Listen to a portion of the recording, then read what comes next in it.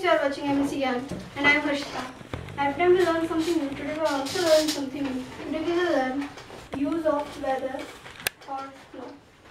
चाहे नेक्स्ट या ना एग्ज़ाम्पल चाहे वो आए या ना आए मुझे जाना होगा वेदर शी कम्स और not I have to go चाहे वो तैयार हो या ना हो उसे यहाँ से भेजना ही होगा whether she gets ready or not, she has to be sent from here.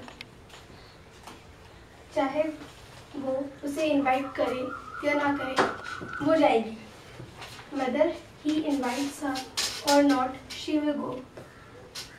चाहे वो माने या ना माने मगर ये सच है whether she accepts or not, but it is true.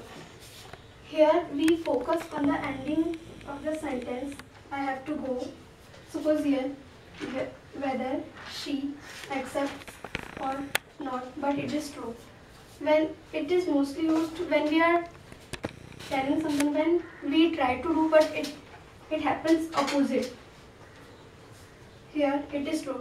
She accept or not, it is true. Suppose whether I went to call her but she didn't.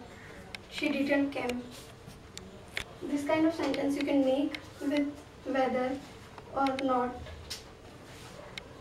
Thank you. Please watching keep watching MSc Gyan and thank you. Like subscribe and share